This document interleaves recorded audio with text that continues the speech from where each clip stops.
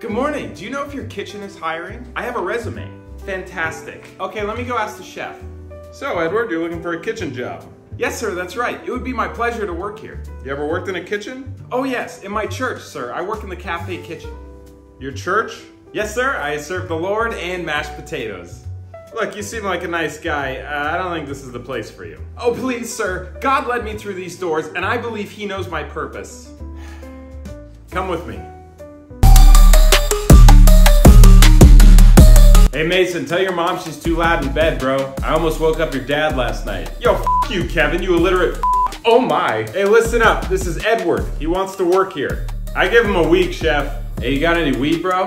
Uh, no, I don't, I don't do drugs.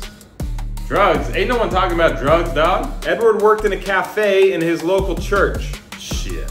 Yo, never mind, chef. He won't last two days. Uh, you, you know what, sir? I don't think this is a good fit for me. Yo, when are you gonna hire some hot chicks, chef?